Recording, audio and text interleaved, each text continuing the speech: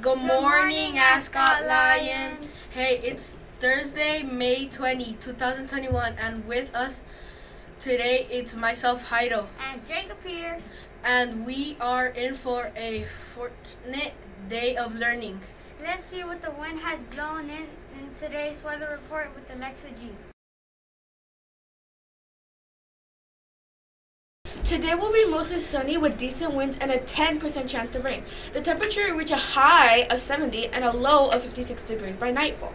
The mornings are brisk, so stay warm. Driver was heading down a busy street in the city.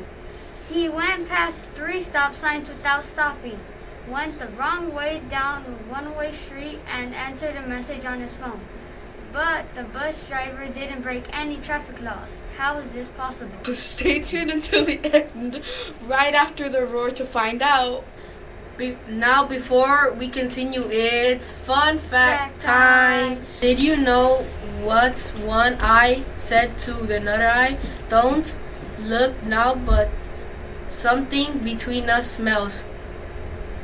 To continue, we'd like to wish a happy birthday to Anthony Antunes and Alison Hernandez.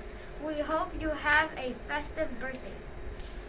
Don't forget our happy habits. Be um, proactive and to practice living the Ascot ways by living the, out the lowering force. Be responsible, be respectful, safety first, and keep it clean.